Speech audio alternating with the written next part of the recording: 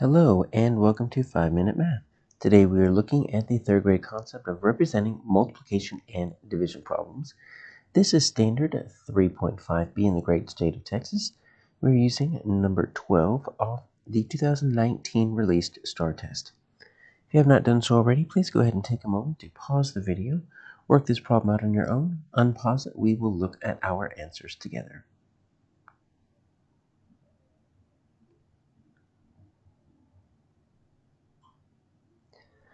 All right, so we have a looks like a fairly simple problem, but it might be a little bit more difficult than we think.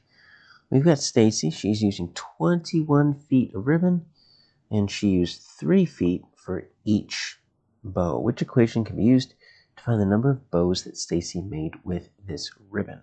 So we need to find the number of bows. And so you notice all of our answer selections, F, G, H, and J, they're all going to use 21 and 3, the only two numbers we have in the problem, and they're simply going to use a different operation, multiplication, division, addition, or subtraction. So we're not going to be able to find our answer there. What we are going to need to do is probably draw a picture, maybe a strip diagram. So let's see if we can draw a little bit of both. And so I'm going to start with this. I'm going to start with this 21 feet because it says she used 21 feet of ribbon to make bows, and to me, this looks like my total.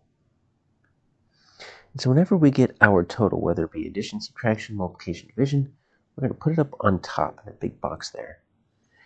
And then she used three feet of ribbon for each bow. And we need to know how many bows we can make. So it looks like what we're going to do is we're going to take sets of three. And then just going to try to figure out well how many bows can she make? How many sets of three can she get out of there?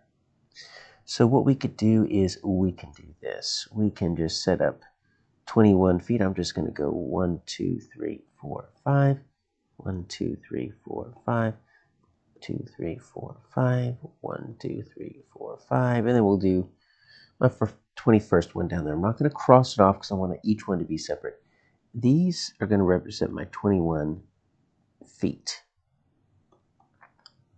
And I, it says here that we're going to use three feet for each ribbon. So what I'm going to do is I'm just going to circle sets of three. So I'm going to do, well, that's one, two, three.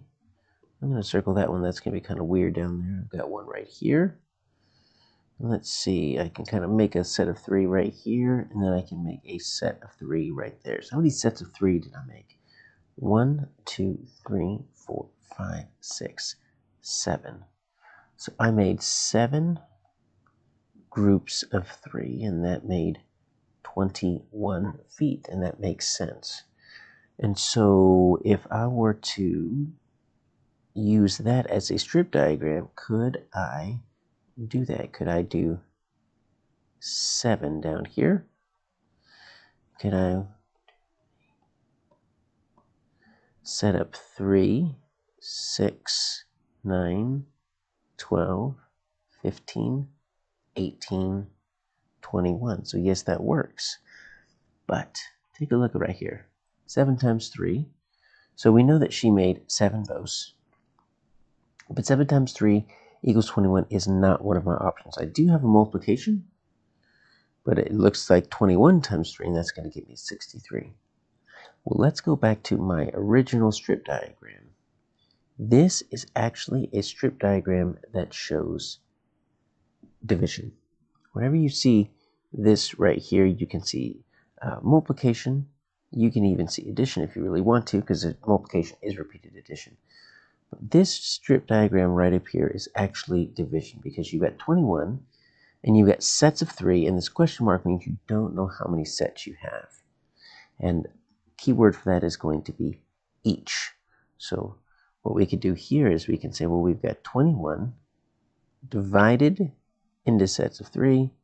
And now that we know we are going to make seven sets of three, that's going to give us our answer here as G. We're not going to multiply because we're not going to make 63. And then addition and subtraction don't work because this each lets us know it's going to be multiplication or division.